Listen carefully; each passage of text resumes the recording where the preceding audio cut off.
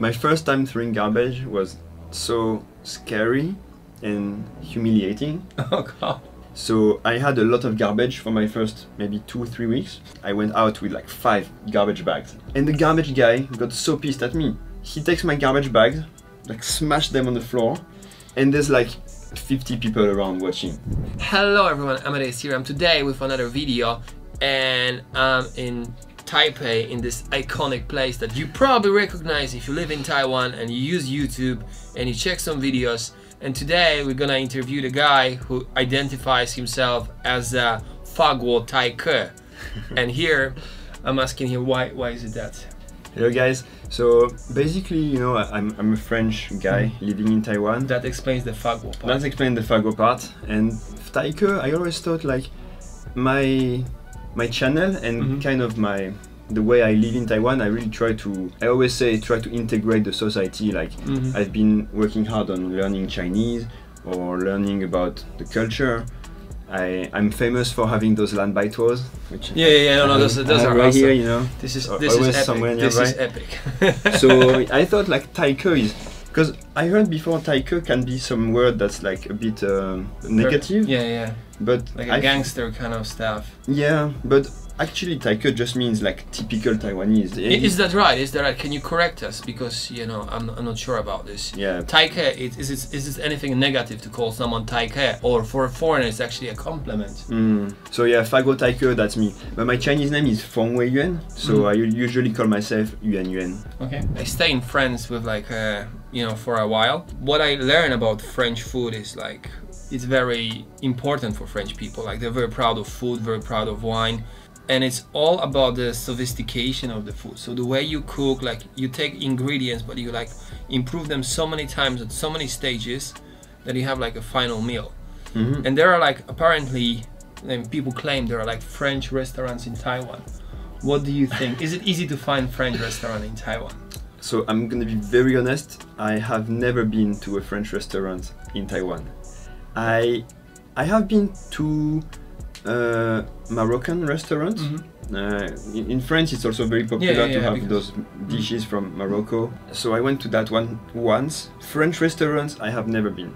So if if we talk about French food, I would say I go to bakeries, hmm uh, eat my favorite croissant or bread. So you can find croissant in, in Taiwan. Yes. Okay, yes. so the French people can immigrate here now. This is fine. Taipei has, I would say, quite a few options uh, for French pastries, Mhm. TNDN. For restaurants, I I cannot really say because I have never been myself. you know, one thing I think is interesting is I feel French people and Taiwanese people have this common thing that they both care a lot about food. Yeah, yeah, yeah. That, If that's you- definitely. If you make a video in Taiwan about food and you do something wrong, you will have tons of comments Oh. saying that. One time I was in France doing Yeah. pao mian, and I think I put I put the water before Wait, or after. you messed up doing mian. yes, How bad can you be at cooking mian? I don't think I'm that bad, you know. And I mean, when I do it, I appreciate eating it. But it's more like if you make this one mistake, like Mhm. you put this before that, or I don't know. There was this tiny thing, and then I realized my huge mistake, and I was Mhm. like, damn it, I should just remove the video now. Because because the people like You- bust you you get like 50 comments that are exactly the same. there are lots of differences between France and Europe and Taiwan, right? So you were talking about you were very confused about garbage trucks, right? My first time throwing garbage was so scary and humiliating. Oh god. So, I mean, if if you are in You Taipei, you thought it's an ice cream and you start grabbing the garbage and go to pay. not not that not that innocent, but uh, if you are in, I think Taipei and New Taipei, Mhm. you need to have special garbage bags. hmm Uh, you have to buy them in supermarkets, Mhm. um, and they will only take those garbage bags. Nobody told me that. Oh. And the second thing is, if you go to the supermarket, those bags you cannot get them by yourself. You have to ask the clerk.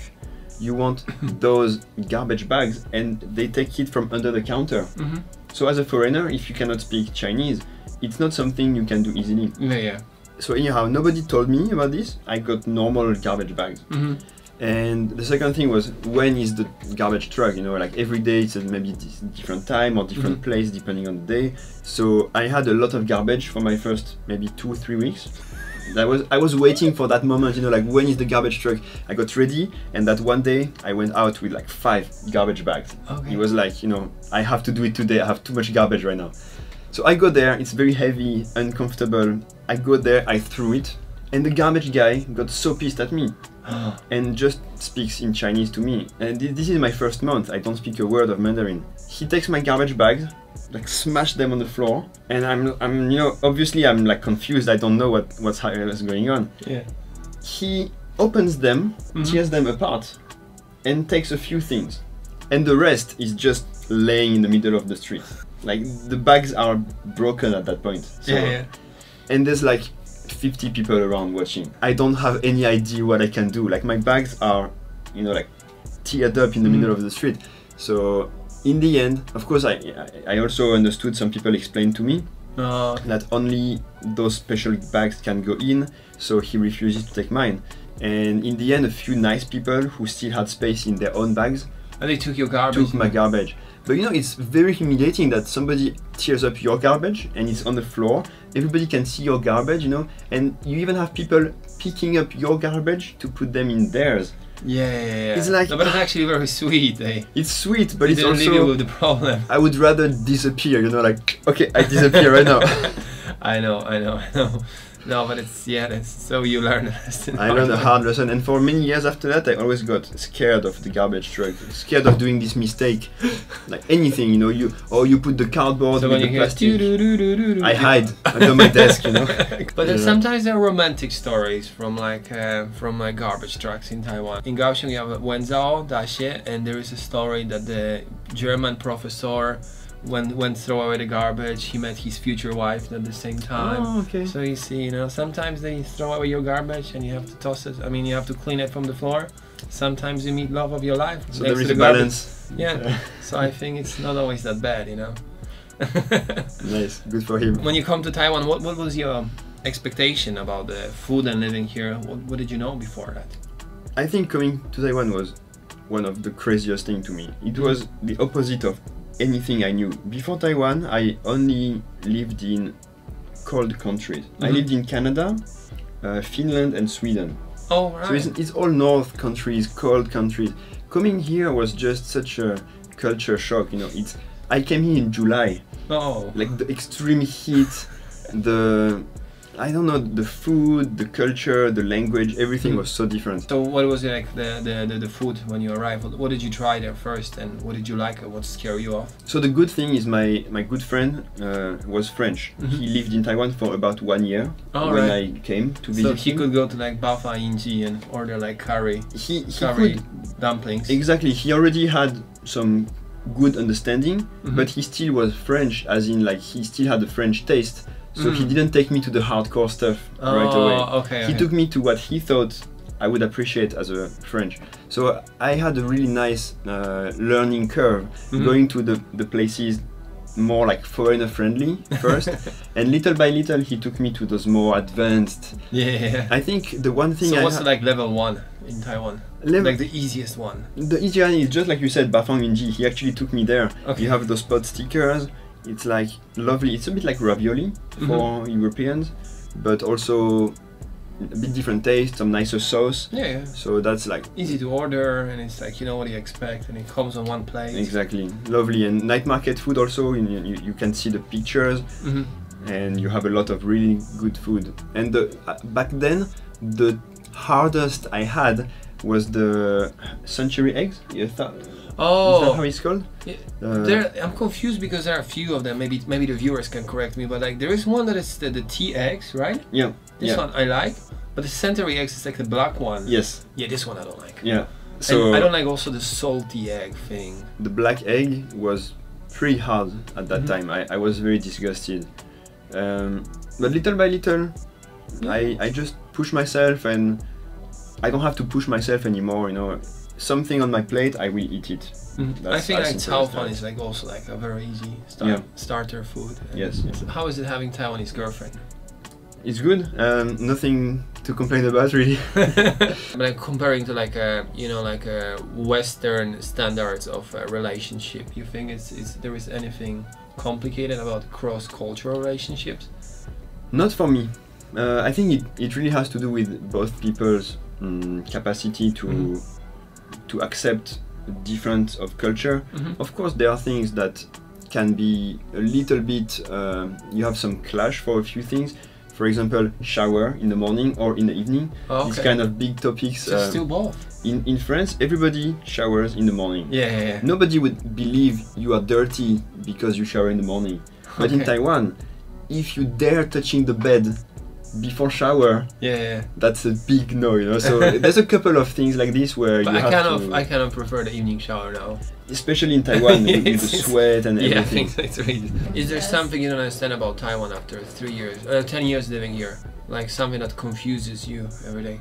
For me, like the biggest confusion is like uh, along the place where we live, there they open a new road, and there's like three sidewalks along the road because there are two main roads. Between there's a sidewalk, because you know, and and on the right there are two sidewalks. hmm And sometimes I go there in the morning and still people jog on the street. And that's really confusing me. Like, why would you do that? Know? I don't know. Maybe somebody knows. It's like better like to jog on the street when there's like three sidewalks empty. Or Yeah, I, I have a similar confusion about the cycling path Mhm. and the pedestrian path. For some reason, the bicycles love to be on the pedestrian path in Alright. Taipei. Like it's very precise. There's an icon on the floor, you know, bicycle, Yeah. pedestrian. But the bicycle, I think they have this culture of if they ride slow, they ride on the most right part of the road Okay.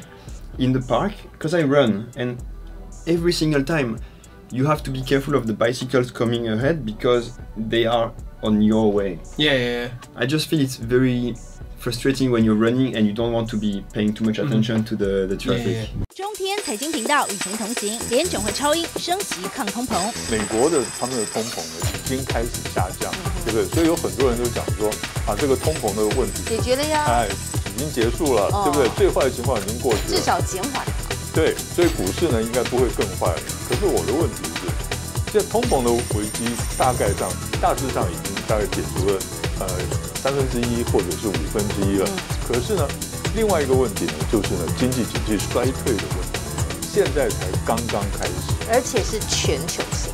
施工底加啦！分析师林永年不藏私，投资心法手把手教你把小钱变大钱。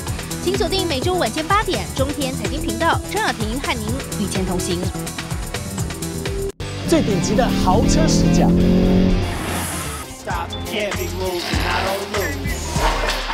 最热门的新车尝鲜，最实用的空间展示。每周一、周五晚间九点，别忘了 YT 搜索中天车厂家。每周三套灯到站里店，猪猪哥来聊车陪你一起来直播，更别忘了帮我们按赞、点阅、分享，开启小铃铛哦。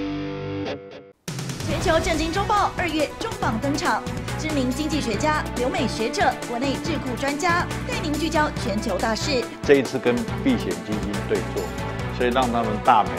关注美中台关系。大陆的军事力量要开始突破美国的封锁。地方或是民众不同意啊，来美猪或来猪的进口，其实是增加啊政府的谈判筹码。掌握世界整体经济趋势，我比较担心的是，啊，大陆跟美国他们所采取的两个政策。就先要处理日本核实的问题，对吧？你核实不处理的话，日本绝对不会啊同意要跟我们谈。每周六日晚上六点准时上线。